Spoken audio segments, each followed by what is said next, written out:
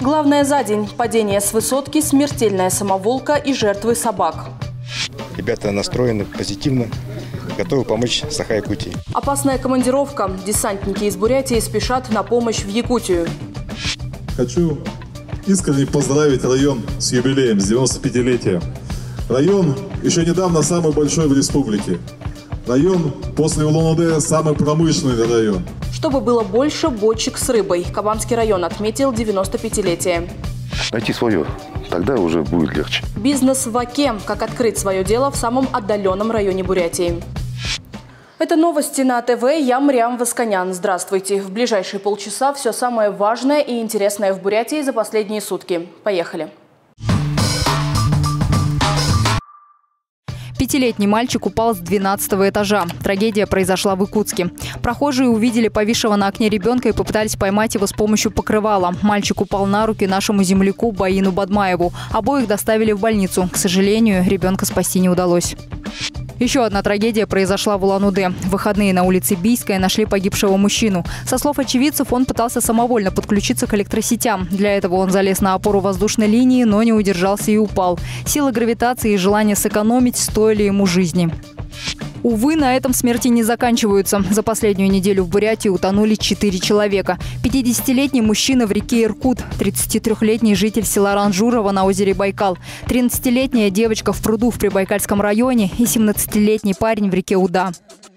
Восемь районов Бурятии охватили пожары. Стихия разбушевалась не на шутку. Огонь прошелся по территории почти в 450 гектаров. За последние сутки удалось ликвидировать 19 пожаров.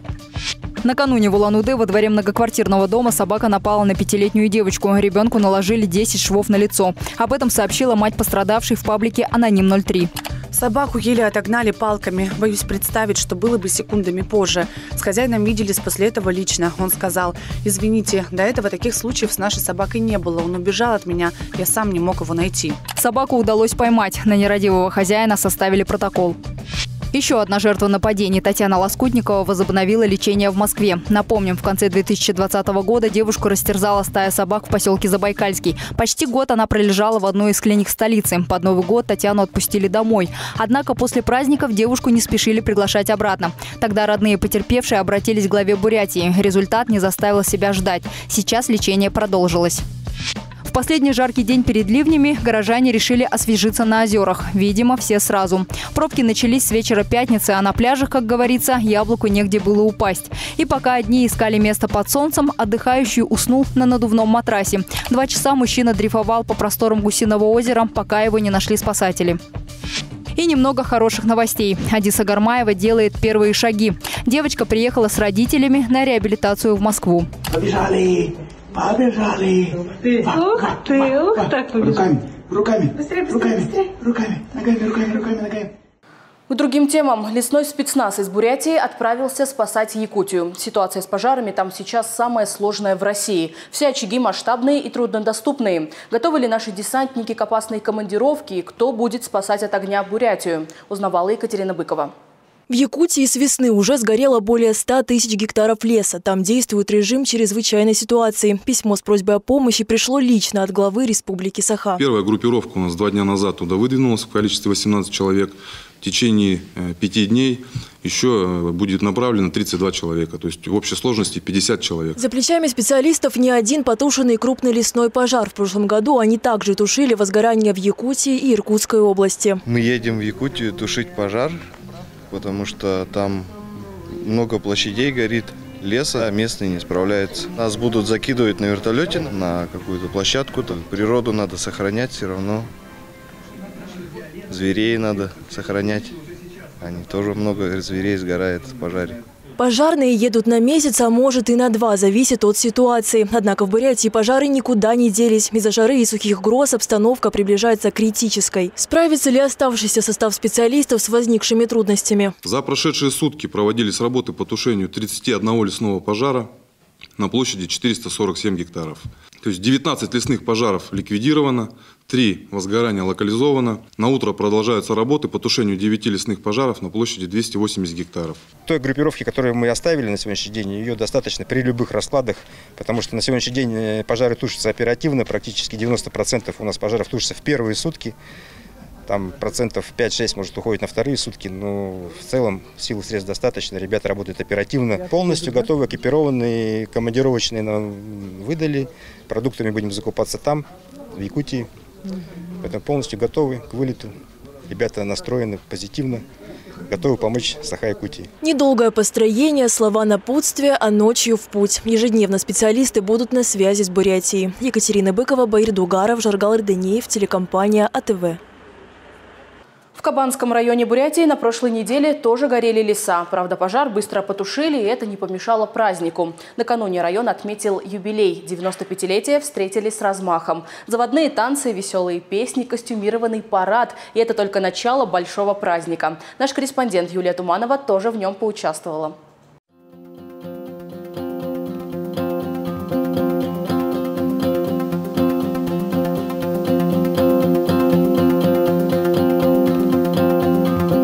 Друзья, мы в Кабанске. Сегодня здесь большой праздник, 95-летие района.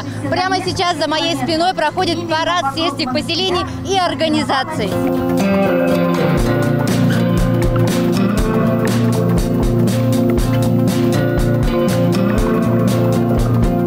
В вашем сельском поселении проживают самые замечательные люди. Это правда? Это сто процентов. Поздравляем всех с юбилеем района, всех выходцев нашей Кударинской долины. Всем прекрасного настроения, всем Всем добра. Спасибо, да, да. Праздника! Как настроение сегодня? Ой, хорошее настроение, веселое. Расскажите, чем славится Кабанский район?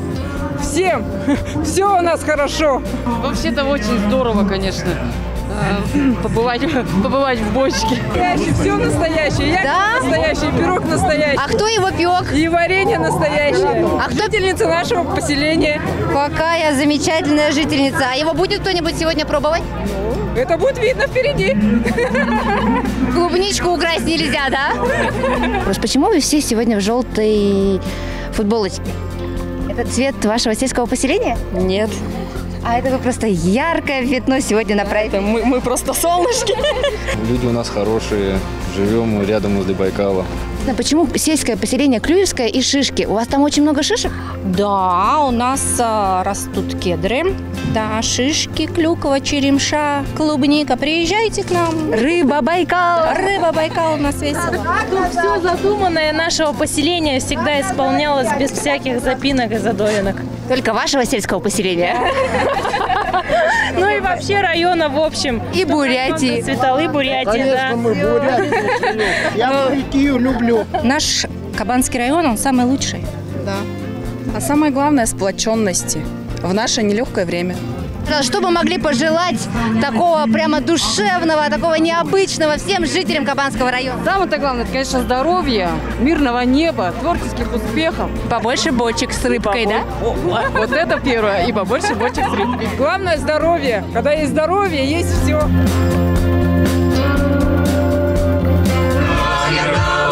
И путь дорожка пролегала, но путь широко по чистому полю, по чистому полю.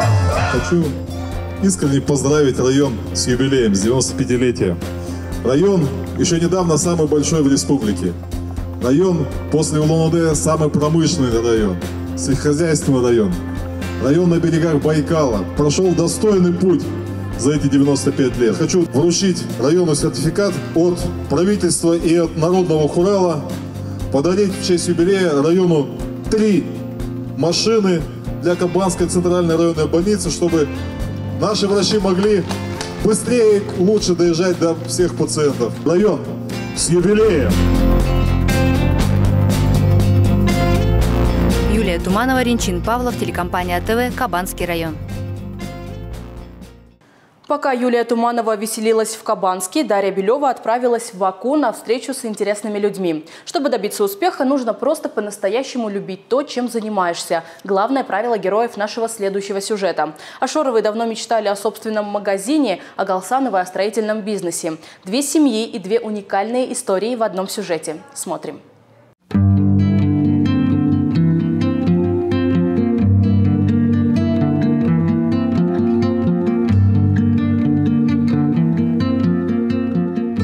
Тебя зовут? Осенние. Привет. Два с половиной годика. Основной работник, начальник наш.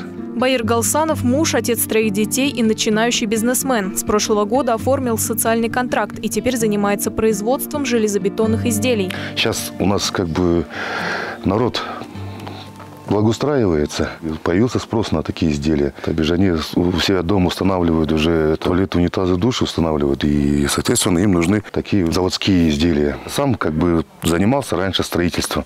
То бишь я опыт с бетонными изделиями имею и, и с бетонными работами тоже, плотник-бетонщик. Понял, что ну, спрос есть, оказывается, в нашем районе. Это одна это. Узнал про соцконтракт э, и решил, в общем, попробовать расшириться.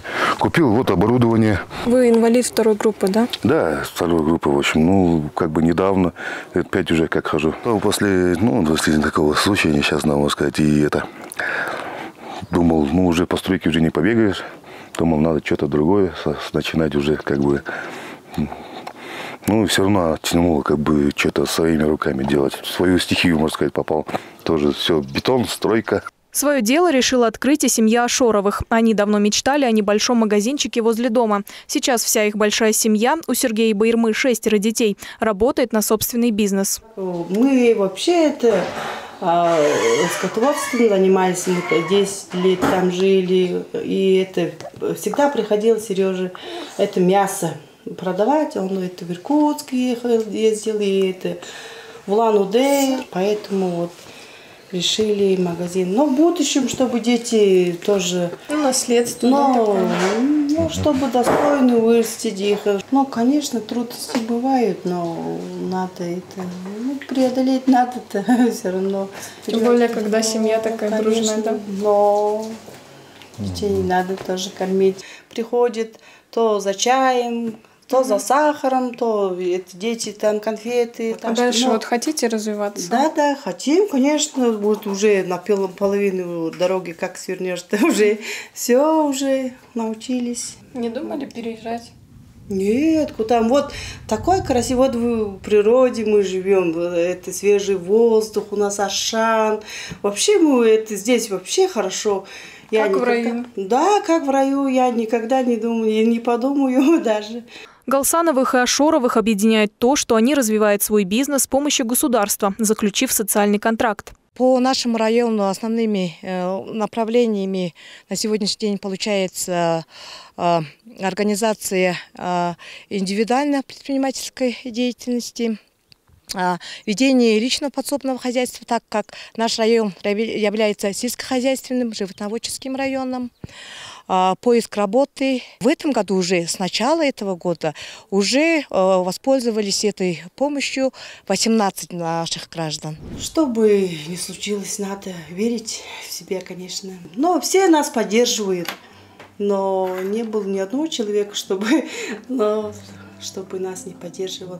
Найти свое тогда уже будет легче. И главное, любимое дело. Да, чтобы любил это свое дело, просто вот любил свою, то, что ты делаешь, то, что вот, то, что ты создаешь, вот это вот, скажем так. Дарья Белева, Жаргал Ирдынеев, телекомпания АТВ, Акинский район. Не переключайтесь, вот о чем мы расскажем после короткой рекламы.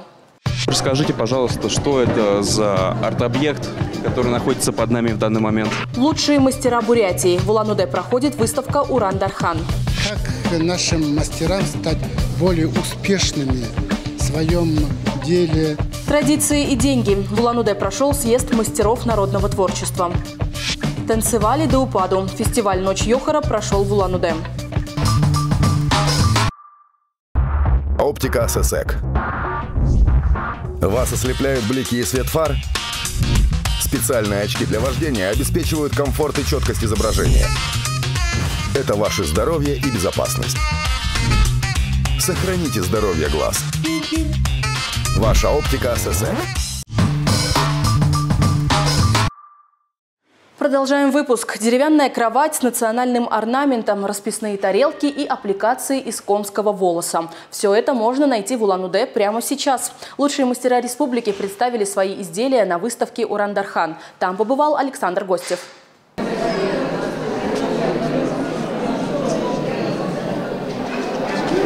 Уже во второй раз выставка «Уран-Дархан» собирает лучших мастеров рукоделия со всей республики. Главный мотив работ – бурятские национальные традиции. По словам одного из участников, удовольствие приносит сам процесс. Раньше не было ни фабрик, ни заводов, как говорится.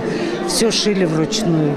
И одежду шили, и домашнюю утварь шили. Склонность к рукоделию складывается, и мне доставляет большое удовольствие. Уран-Дархан проводится в рамках подготовки к празднованию столетия республики. Первая такая выставка состоялась в декабре прошлого года. И она как бы дала такой толчок для, для развития народных промыслов, это поддержка мастеров. У них, в общем-то, появляется стимул для того, чтобы что-то создавать, и их материально поддерживают. У них есть возможность там закупить материалы и так далее, и исполнить свои давние мечты. Всего в конкурсе проектов принял участие 61 мастер из Улан-Удэ и 9 районов Бурятии. Сначала они представили эскизы своих изделий, а затем комиссия конкурса выбрала лучшие проекты и выделила на них деньги. Расскажите, пожалуйста, что это за арт-объект, который находится под нами в данный момент? В общем, это национальная бурятская кровать, разборная, переносная. Раньше буреты жили в юртах, они разбирали, постоянно переезжали, передвигались. И, ну, я сделал на клиньях, она разборная, как четыре щита и отдельно эти доски снимаются. В следующем году пройдет масштабная грант-выставка. На ней представят все произведения, созданные победителями конкурсов. Посмотреть вживую на эти изделия, прикоснуться к истории Бурятии можно и сейчас в художественном музее имени Сампилова. Выставка пройдет до 10 июля. Возрастное ограничение 6+. Александр Гостев, Артур Звержевич, телекомпания АТВ. Выставки – это, конечно, хорошо, но у художников есть и проблемы. Больше всего творцам не хватает финансовой и информационной поддержки. Со своими предложениями и инициативами они выступили на первом съезде мастеров народного промысла.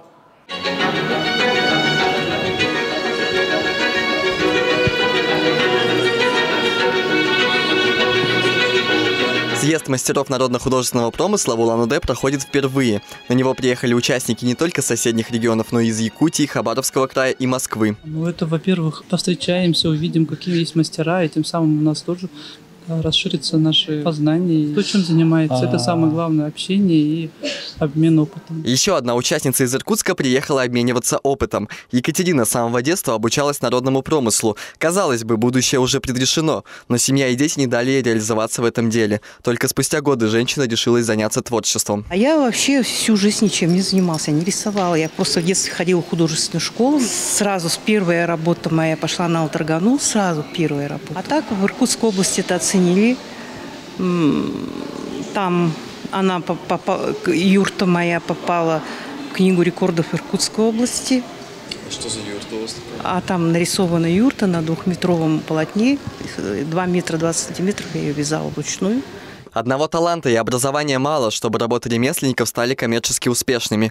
На съезде мастера предложили властям создать школы народного промысла и интернет-магазин с изделиями. В современном мире сделать более еще, может быть, актуальное востребование среди э, населения. Как нашим мастерам стать более успешными в своем деле, возможно, и в открытии своего бизнеса. Это одно из направлений коммерческих, чтобы успех был, но и в то же время тоже есть большая задача, как сохранять наши традиции.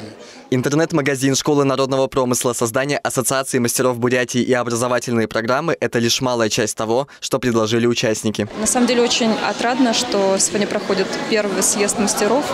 Мы очень давно ждали этого. Я вижу просто, насколько сегодня все счастливые мастера, потому что у них впервые есть такая возможность встретиться, а, обсудить а, те необходимые темы, которые им интересны. И художественные промыслы – это неотъемлемая часть нашей богатой культуры, нашего многонационального народа. Такие съезды планируют организовывать раз в 4 года. Александр Зуев, Жаргал Ардынеев, телекомпания АТВ. А теперь об одном из главных культурных событий года. Накануне после двухлетнего перерыва в этнографическом музее прошел масштабный фестиваль национального танца «Ночь Йохара». По зрителям и артистам было видно, как сильно они соскучились друг по другу, по любимому танцу и по праздникам в целом. Вместе со всеми танцевал до упаду и наш корреспондент Кирилл Мешков.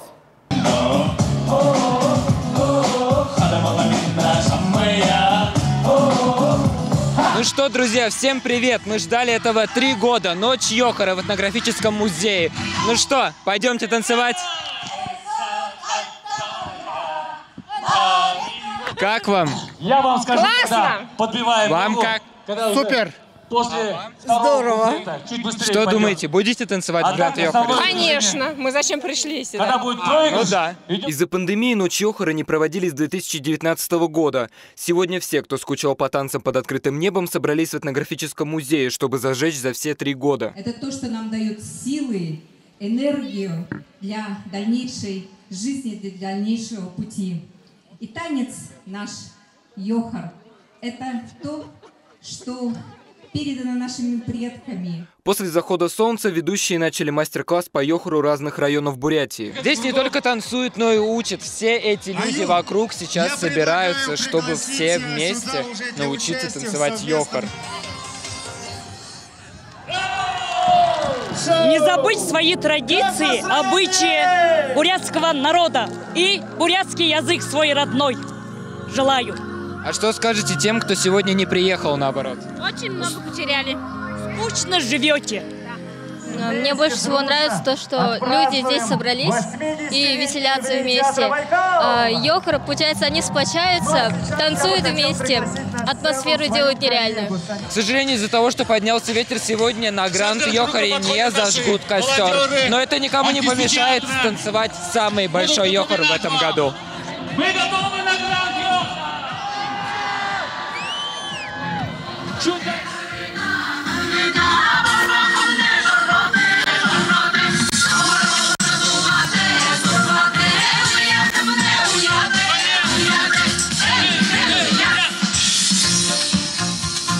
Кирилл Мешков, Жаргал Арданеев, телекомпания ТВ. На этом у меня все. А вот в нашем телеграм-канале новости не кончаются никогда. Подписывайтесь по QR-коду на экране и не переключайтесь. Впереди много интересного. С вами была Мариам Восконян. Увидимся. Для тех, кто не знает, эти маленькие камни называются щебнем. Без него невозможно обойтись в строительстве. А находимся мы сейчас на предприятии, где его изготавливают. Это, между прочим, неподалеку от села Тапхар.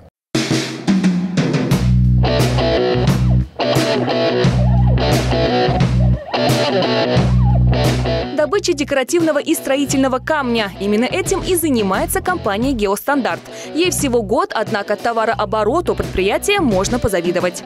В одну смену передрабливаем в месяц э, примерно 25 тысяч тонн. У нас покупают дорожные строители, бетонные заводы покупают, ну, частный сектор тоже. Фишка завода в самом оборудовании. Это высококачественная финская система дробилок. Работу здесь по праву можно назвать пыльной. Смысл всего производства – превращать огромные камни в мелкие. Сначала их добывают на карьере, после они проходят три этапа переработки. Сюда поступает материал э, до 700 миллиметров размером, а выходит уже до 200 миллиметров. Дальше по конвейеру измельченный гранит переходит на следующий этап. Вторая стадия дробления схожа с первой, только на выходе камни еще мельче. А Мы подошли к последнему этапу.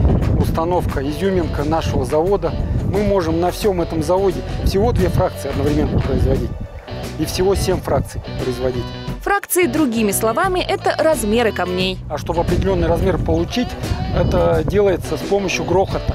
А грохот это что? Грохот – это оборудование, котором находятся сета разных ячеек. От мелкого внизу до самого крупного. То есть с помощью сита и проходит отбор камней. В конце производства вырастают настоящие горы щебня, у каждой из которых своя фракция. Отметим уникальность завода в системе управления. Весь процесс регулируется как вручную, так и автоматически.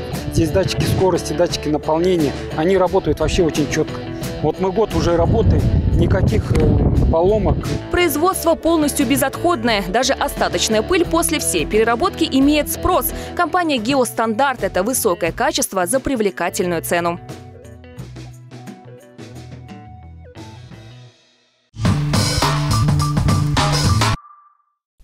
«Стальмост» – крупнейшее предприятие по производству металлоконструкций в Сибири и на Дальнем Востоке. Улан-Удэ «Стальмост» имеет высокотехнологичное и высокопроизводительное оборудование. За время работы заводом было изготовлено более 1 миллиона тонн металлоконструкций. Улан-Удэ «Стальмост». Без нас не строятся мосты. Каждые пять секунд слепнет один взрослый человек. Каждую минуту один ребенок. 80% случаев нарушения зрения можно предотвратить. А вы проверили зрение? Проверьте зрение сейчас. Ваша оптика ССЭК.